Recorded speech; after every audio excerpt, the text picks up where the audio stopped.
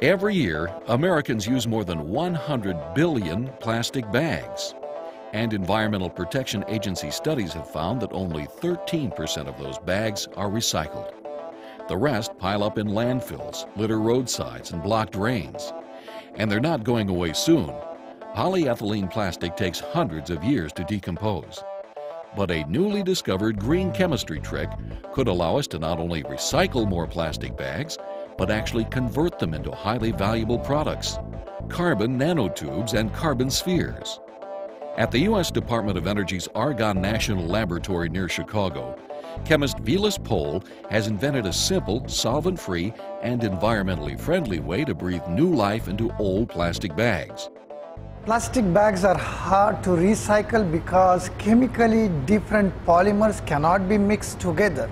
Thus, the product you make out of it is not a good product. So what we did is we have a upcycling approach where we take the plastic bags and scaled off making highly valuable product out of it. The process is simple.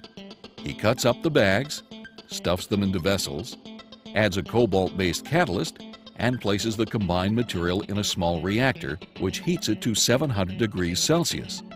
After three hours of reaction, the result is a fine black powder, which consists of millions of tiny carbon nanotubes.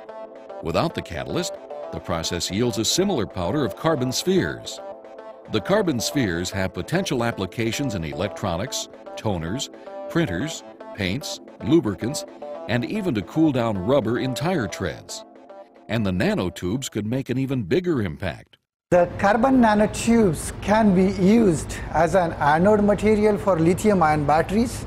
Those lithium ion batteries can be used for your cell phones or in your future cars.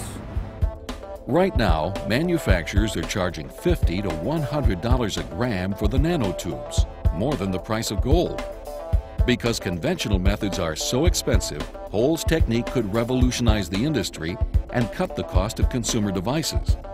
So we are taking something waste and making really valuable, keeping the environment green, green and greener.